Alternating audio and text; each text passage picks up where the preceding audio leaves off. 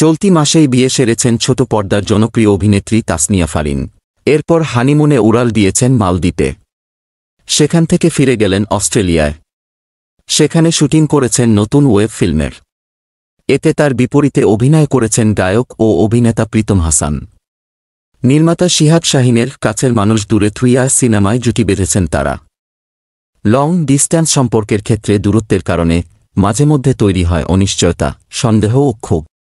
এরকম সম্পর্কের গল্প নিয়েই চরকি অরিজিনাল সিনেমাটি, যেটির সঙ্গে নিজের জীবনের মিল খুঁজে পাচ্ছেন ফারিন। কেননা ফারিনের স্বামী শেখ রেজওয়ান রাফিদ আহমেদ পড়াশোনার জন্য থাকতেন যুক্তরাজ্যে। অন্যদিকে অভিনয় নিয়ে ঢাকায় ব্যস্ত থাকতেন এ অভিনেত্রী। ফারিন বলেন, এই সিনেমার গল্প আমার জীবনের সঙ্গে অনেকখানি মিলে যায়। আমার আর আমার স্বামীর লং ডিস্ট্যান্স রিলেশন ছিল। তাই নিজের সঙ্গে কানেক্ট করে কাজ করতে ভালো লেগেছে।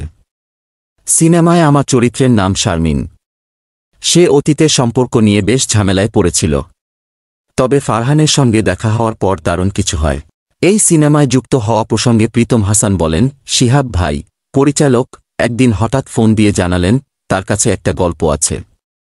তারপর ভাইয়ের সঙ্গে বসে চিত্রনাট্য দেখার পর আমি নিশ্চিত হয়েছি, কাজটা করতে চাই।